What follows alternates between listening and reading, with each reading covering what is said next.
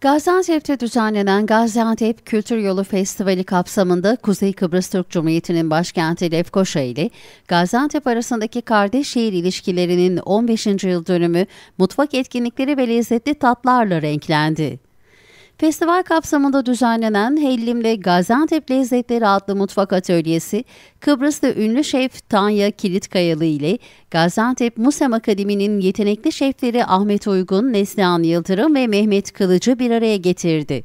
Şefler Kıbrıs'ın meşhur hellim peyniri ile Gaziantep fıstığını kullanarak içli köfte ve irmik tatlısı gibi yöresel lezzetlerde yenilikçi dokunuşlar sundu.